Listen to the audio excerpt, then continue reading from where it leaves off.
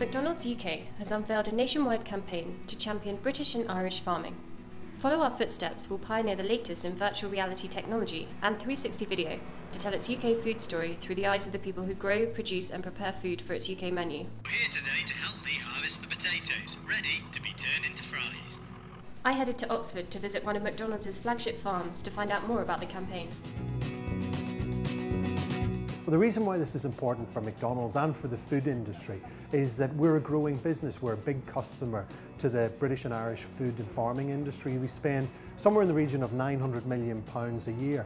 And we know that there's an increased demand for product over the next 10 years. So we think that through the Foodsteps campaign, we have an opportunity using VR technology to be able to maybe dispel some of those myths that people have about a career in food and farming. And ultimately, what we would like to achieve is to attract a greater number of people, particularly young people, into food and farming to be able to sustain that growth for the future.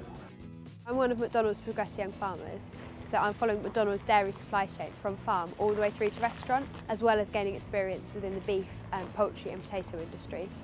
I didn't know a lot about VR before I got involved with this campaign, um, so it's been really good to learn about the v VR and to see what they can do with it. I mean, it, it literally feels like you're stood on the farm or in the processing site or wherever, wherever they filmed it. The opportunity that Foodsteps and the use of VR and cutting technology allows us is to be able to take food and food production from the farm, from the factory, out on the road, into local communities and actually to customers.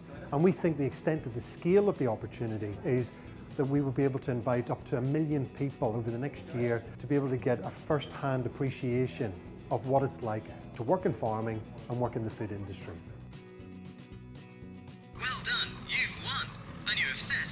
Well